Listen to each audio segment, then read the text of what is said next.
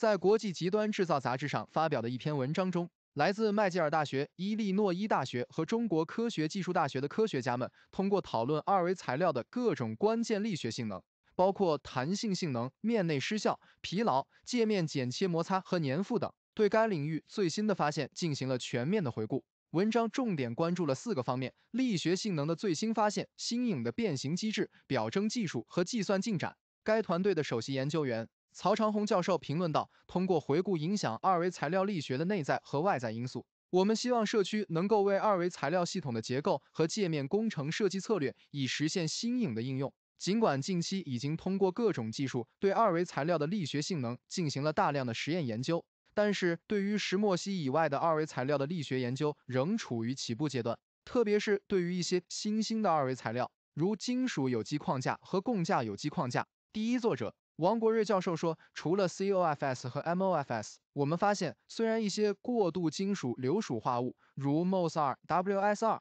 MOS2 和 WZ2 已经被广泛研究，但是对于其他 TMDS 以及具有独特化学、电子和磁性能的 TMD 合金，很少进行力学方面的研究。此外，虽然二维抑制结构可以通过手工或自组装技术，以垂直或水平方式设计和构建。”但是，关于二维抑制结构的力学行为的信息却十分缺乏。麦吉尔大学博士生侯宏宇作为共同第一作者补充道：“目前，大多数二维材料的力学研究都集中在静态或准静态性能上，而对于循环加载或冲击加载下的动态行为，则几乎没有探索。此外，在处理和实验测试超薄系统方面的实际挑战，也增强了准确计算方法在筛选二维材料巨大力学性能空间方面的价值。”作为文章的共同主导作者之一，也是计算力学方面的专家，马修戴利教授评论道：“关于二维材料计算力学研究方面，也有许多进展和未来机遇。例如，虽然 DFT 模拟提供了一种使用第一性原理方法研究这些系统力学性能的途径，